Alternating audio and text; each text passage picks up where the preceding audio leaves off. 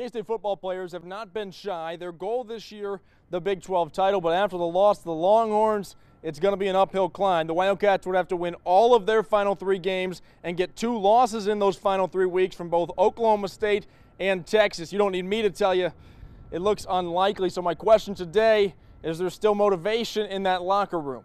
Texas is one of the best teams in the country, and we get beat on the last play of the game.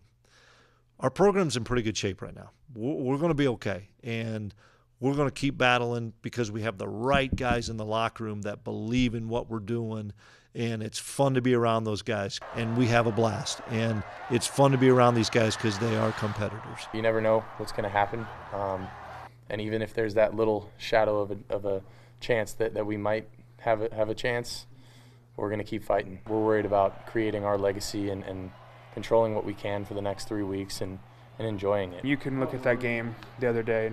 Um, the guys and how they responded. I think many teams probably would have thrown in the towel. And that says everything you need to know about the fight in the guys and how much they care and want to win. The best news for this weekend for Kansas State fans is not who they play, but where they play. The Cats are back here in Bill Snyder Family Stadium where they're not only a perfect 5 0 on the year, they've outscored opponents a combined 213 to 47. K State gets Baylor this Saturday. Working for you in Manhattan, Glenn Kinley, 27 Sports.